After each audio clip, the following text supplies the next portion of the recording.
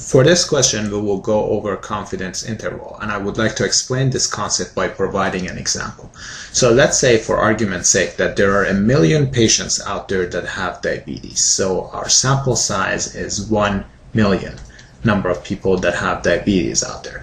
And we are interested to find out what's the mean value for the fasting blood sugar for these patients. The problem is that we won't have enough resources to, to be able to check the the blood sugar for all these 1 million patients. So what we can do is actually to obtain a small sample size from the original population. So let's say we pick 100 patients and then obtain a new curve out there. So we'll get something like this. So if you've noticed, the curve would no longer be as smooth as the original population because the sample size was much bigger here, but still maintains a bell-shaped curve. And uh, let's say for argument's sake that the mean value for blood sugar is 140 and standard deviation is 20. The question is based on the sample size, how sure can we be about the mean value here? So there is something called confidence interval and it would provide us with a range and a confidence of how sure we are that the actual mean falls in that uh, specific range. So the equation for confidence interval is sample mean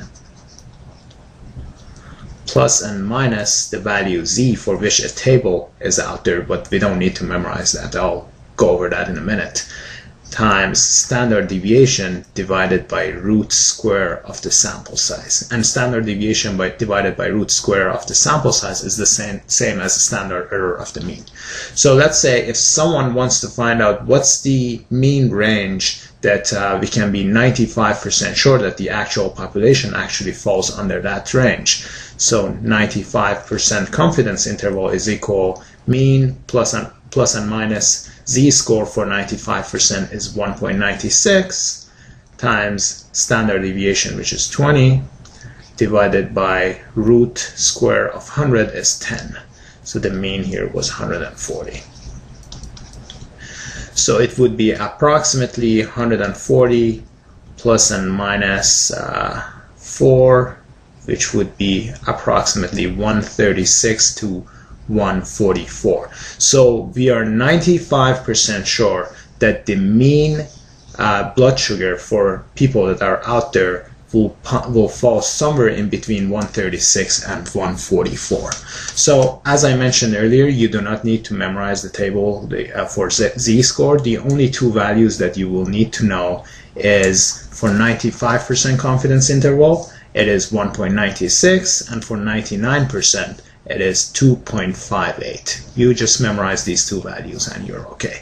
Now the other type of question that you may encounter is that they may ask you like uh, they will provide you with a um, confidence interval of the relative risk and tell you which of these risk factors is having a significant effect on development of a, a, a specific condition.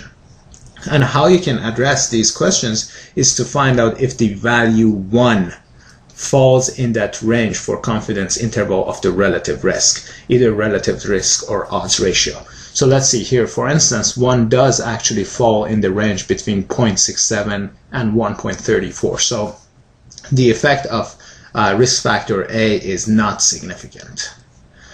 Versus risk factor B, one is actually falls under the 1.08 to 2.46. So Therefore, risk factor B does have a significant effect. And finally, for the last one, one falls above the range that is provided here. So um, risk factor C also does have a significant effect.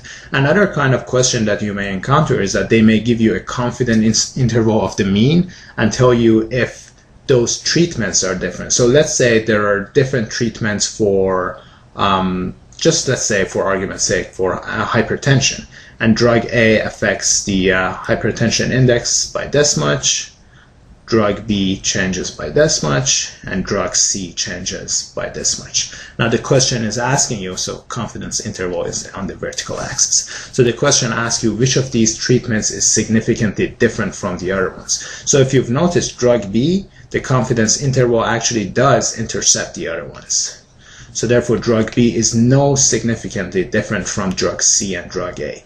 However, if you look at drug A versus drug C, they do not overlap. So the effects of drug A is significantly different than drug C. And that concludes our discussion.